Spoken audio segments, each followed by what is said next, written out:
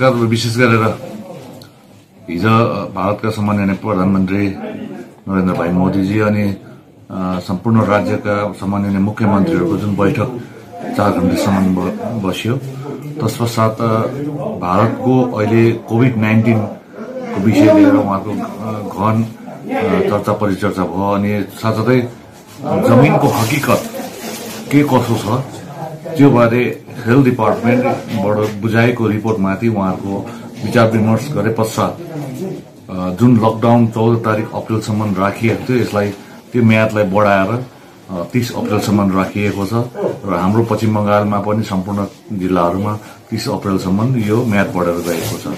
र विशेष गरेर हटस्पट इलाका जो पश्चिम बङ्गालमा छन् जसमा कालिम्पोङ पनि पर्न गएको छ त्यहाँनिर लकडाउनको जुन मापदण्ड छ त्यसलाई अलिकति स्ट्रिक्ट गरेर गएको छ। अन्यथामा अहिलेसम्म यथावत जसरी चलिरहेको छ त्यो त्यही प्रकारले चल्नेछ। र विशेष गरेर म तपाईँहरूलाई यही भन्न चाहन्छु कि जुन तिस तारिकसम्म लकडाउन राखिएको छ यसको निम्ति तपाईँहरूले सबै सबैले घरभित्र बसिदिने अनि आवश्यक सामान लिनको निम्ति मात्रै केही छिनको निम्ति बजारपाट आइदिने अनि बजारबाट फर्किहाल्ने अनि बजारमा बेसी भिडभाड नगरिदिने। र दोकाने जति पनि दाजुभाइ दिदीबहिनी छ उहाँहरूलाई पनि सोसियल डिस्टेन्सिङको मापदण्डलाई हेरेर उहाँहरूले पनि दोकानको अगाडि मार्किङ गरिदिने साथसाथै दोकानमा पनि जो पनि बिक्री गर्ने बस्नुहुन्छ तपाईँहरू उहाँले पनि मास्क लगाइदिने अनि किन्नै आउनेहरूले पनि मास्क लगाएर आइदिने यो हामी अनुरोध गर्छौँ। र अहिले विशेष गरेर त यो एसेन्सियल कमोडिटिजहरू त को दोकान त खोलिरहेको छ अनि साथसाथै दवाई दोकानहरू पनि खोलिरहेको छ। तर हामीले अहिले देख्दाखेरि तीन वर्षदेखि नानी जो तीन वर्ष मुनिका नानीहरूको निम्ति जो फेबी बेबी फुड छ बेबी फुड छ त्यो बेबी फुडको दोकानहरू भने बन्द राखिएको छ। र हामी जतिजना पनि दोकानेहरू छन् जसले बेबी फुडहरू राख्छन् उहाँले पनि कृपया यो लकडाउनमा बेबी फुडहरूको निम्ति पनि दोकान खोलिदिने हामी अनुरोध गर्छौँ। अरू कुरो हामीले यही हो कि जुन सरकारले दिएको मापदण्ड छ त्यो मापदण्डलाई अप्नाएर अगाडि जाने। र तपाईँहरूले यदि हामीले आफ्नो सतर्कता अप्नायौँ र जुन प्रकारले मेडिकल एक्सपर्ट र सरकारले दिएको गाइडलाइनलाई फलो गर्यो भने यो बिमारीमा हामी जाति भइहाल्छौँ र हामीले यो बिमारीमाथि जित पनि पाउँछ। यसको ज्वलन्त उदाहरण जो सुनिता देवी जो स्वर्गवास हुनुभएको थियो कोभिड नाइन्टिनले उहाँको परिवारहरूलाई जाँच गरिएको थियो र कतिजना परिवारको सदस्यहरूलाई पोजिटिभ पाइएको थियो अनि डाक्टर च्याङको आइसोलेसन रुममा उहाँहरू लगेर उहाँलाई बिरामीहरूलाई दबाई पानी गरेका थिए।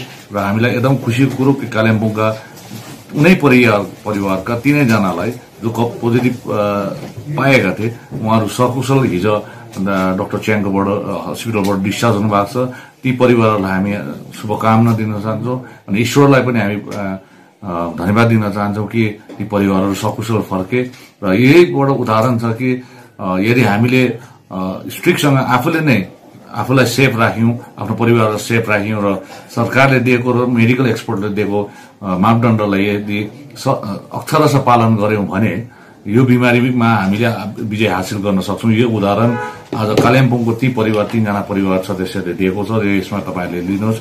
यदि हो हामीले नेग्लिजेन्स गर्यौँ लापरवाही गर्यौँ भने चाहिँ यो बिमारीले हामीलाई जित्छ। र यदि हामीले कडाकडी गर्यौँ भने यो बिमारीलाई हामीले पनि जित्न सक्छौँ। यो तपाईँहरूलाई सन्देश छ र अर्को कुरो विशेष गरेर आउँदो दिनहरूमा हामी दार्जिलिङमा पनि दार्जिलिङ डिस्ट्रिक्ट हस्पिटलमा पनि एफिसियन्ट डक्टरहरूको एउटा टिम बनाउँदैछौँ। जुन टिमबाट चाहिँ उहाँको फोन नम्बरहरू जारी गरेर जस्तो डक्टर दावाले गर्नु गरिसक्नु भएको छ एकजना डक्टर म्याडमले पनि गर्नुभएको छ। अझै हामी गर्छौँ ताकि केही परेको खण्डमा उहाँहरूको फोन मार्फत उहाँलाई घरै बसेर पनि सोध्नु सक्नुहुन्छ त्यो योग पनि गर्दछौँ। र सहर बजारमा त ठिकै छ यहाँ दोकानपाट खोलिरहेको छ र विशेष गरेर हाम्रो कमानतिर अनि दुर्गम क्षेत्रहरूतिर दिदीबहिनीहरूको निम्ति अलिकति यो सेनिटरी प्याड पनि हामी केही दिन पछाडि उपलब्ध गराइदिन्छौँ र सबैलाई सक्दैन होला जे जति हुन्छ हामी गर्छौँ किनभने एउटा सेनिटेसनको प्रब्लम भइरहेको छ यो पनि हामी अवश्य गरिदिन्छौँ र आउँदो दिनहरूमा तिस तारिक अप्रेलसम्म तपाईँहरूले जुन सरकारले दिएको केन्द्र सरकार र राज्यले दिएको गाइडलाइन र निर्देशनलाई अक्षरशः पालन गर्नुहुन्छ भन्ने हामी आशा साँचेको छौँ।